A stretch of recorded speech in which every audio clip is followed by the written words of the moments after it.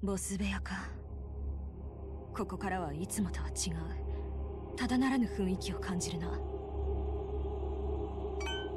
このままボスに挑もう。はい。私もサポート頑張ります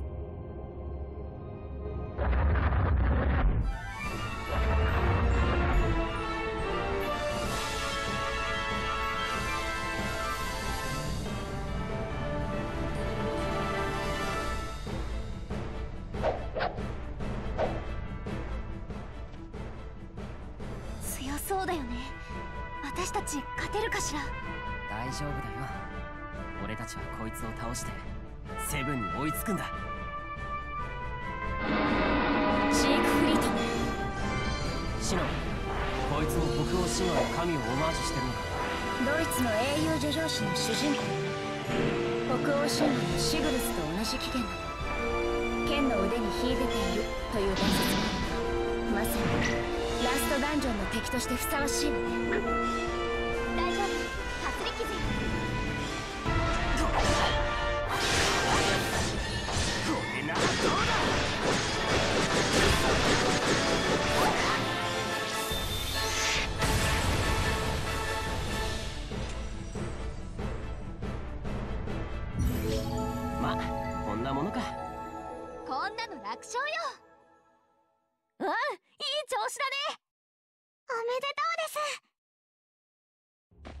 セブンたちはこいつを倒して先に進んだのかな？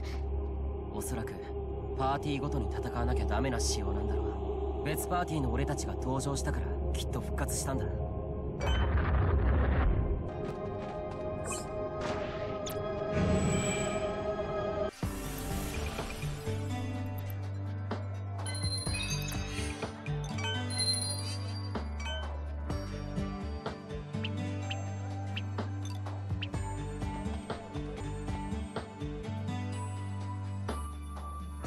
シロンキリト何か用？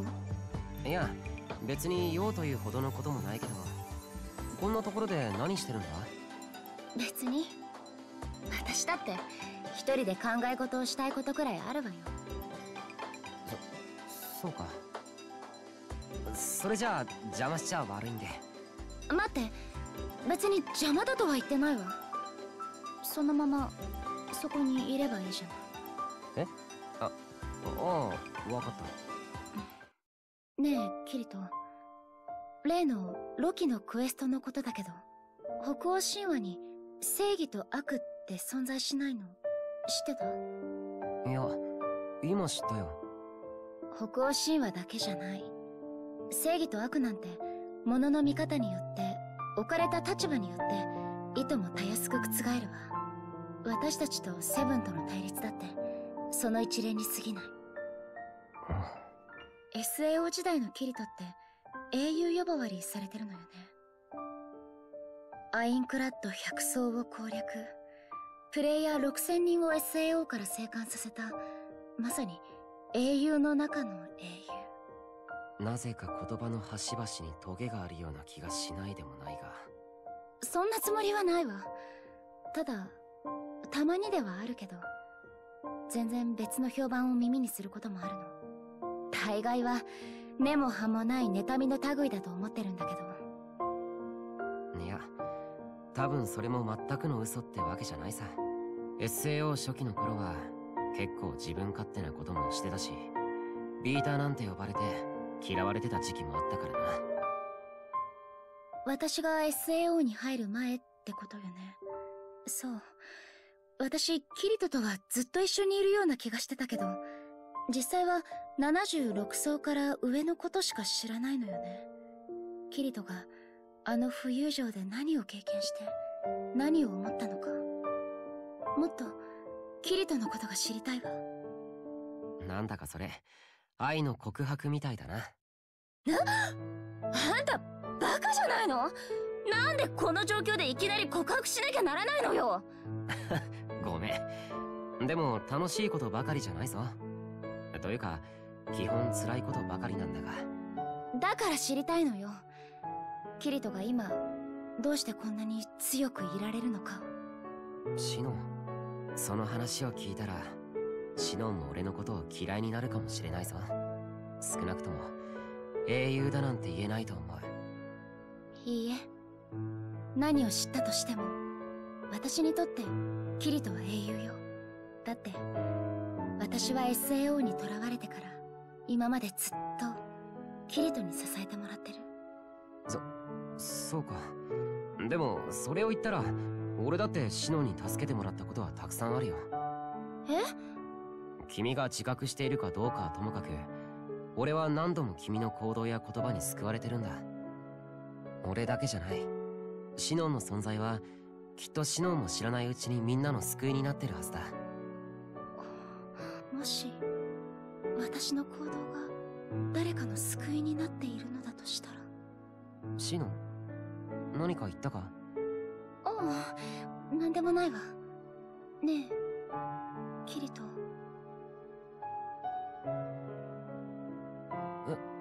シノン？もう少しこのまま手をつながせて。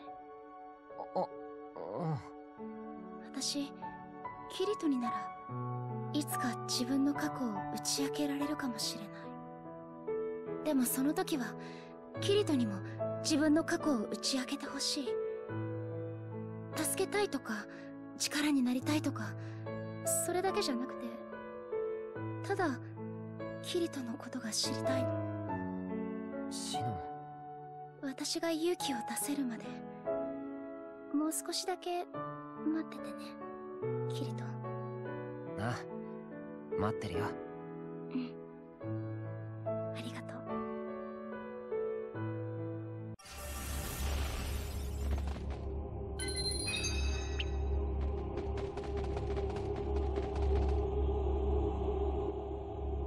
この扉もしかしたらここがこのダンジョンの終着点かもしれないな。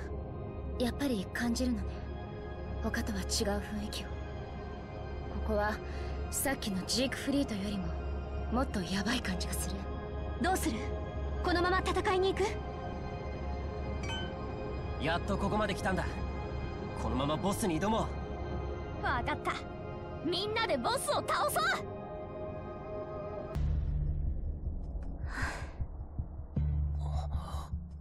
セブン。プリビエット。キリト君にレイン君だけか？他のシャムロックはどうした？みんなもうやられちゃったよ。本当に強かったの。でも私がたった今倒したから。ここのラスボスを。なんだって？スバルト・アールブヘイムの最深部にいる闇の神を。私がたった一人で倒したの。お前のスキルレベルじゃ到底勝てないだろ。一体どういうことだ？キリト君前に言ってなかったかしら。このエリア限定の OSS の引き継ぎ方があるって。それは元の使い手が使えなくなっちゃう代わりに引き継いだ相手はそのスキルの熟練度も引き継げるというパターンなの。じゃあクラスタやシャムロックが自分の OSS を一斉にセブンに引き渡しているの？そうよ。君に敗れた後スメラギ君もこのスキルを私に引き継いだんだよ。そうか。シャムロックやクラスタが持つその羽飾り。それはスバルトエリア限定のレアアイテム。映像や音声の通信手段として使えると同時に。そう。スバルトエリア内限定で離れた場所にいるプレイヤーにでも OSS を引き継がせることができるの。そして今まさに私は倒れたみんなの力を集めラスボスに一人立ち向かい倒今頃この羽飾りを通じて ALO 各所に伝わっているはずね。壮大な実験。題してラグナロク・パストラルとでも名付けようかな。ラグナロク。北欧神話の神々の黄昏か。神々の時代よキリト君。私の実験の成功はネットワーク社会の新たなる一歩になるの。セブン君ってやつは。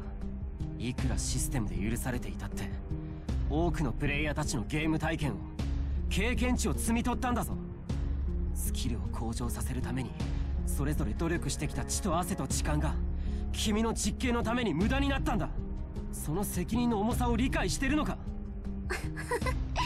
キリト君やだな。熱くなっちゃって。私は一度も強要してない。間違ったことは言ってない。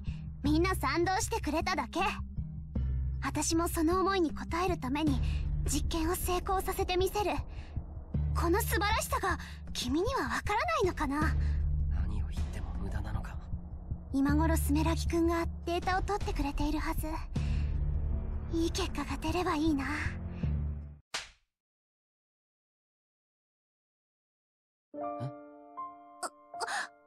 セブンあんた何を勘違いしてるの？レインあなたは何の権限で私の方を引っ叩くのかな？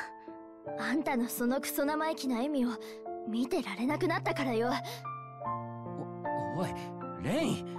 キリト君は黙ってて。確かにあんたの実験は交渉かもしれないそれで新しい技術が生まれるかもしれない。でもあんた仮にもアイドルをやってるんでしょ？夢を与えるのがアイドルの務めなのに。みんなの楽しみを奪ってどうすんのよ？私はみんなの期待に応えみんなはその見返りをくれた。これは互いに利益を分け合う純粋な交渉よ。みんな幸せなんだからいいじゃない。みんながチヤホヤするのはあんたに惚れ込んでるからでしょ？実験がどうかだなんて関係ないわ。でも私はちゃんとリアルのことも明かしてる。その上でみんなは付き従ってくれてる。こんな清廉潔白な行いの結果をそんな風に言わないでほしいわ。じゃあはっきりと実験のためだったって言いなさいよ。それは。それにね私たちはここでゲームをしに来てるの。博士だかなんだか知らないけどよくわからない実験に利用されるのはもうごめんなのよ。キリト君も私も。私たちに用意された大事な遊び場をあんたの妙な欲望で汚さないで。ゲーム。レイ別にあなたの理屈を全部否定する気はない。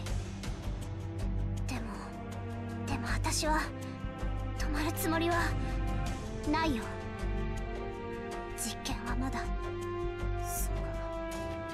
じゃあ俺たちはラスボスをたった一人で倒しちまった君を倒してそのラグナロクとやらを失敗させてやるさ。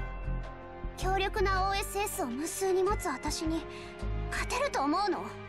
そういう相手の方がむしろ燃えるさ。俺たちのラスボスにふさわしいぜ。そうキリト君行くよ。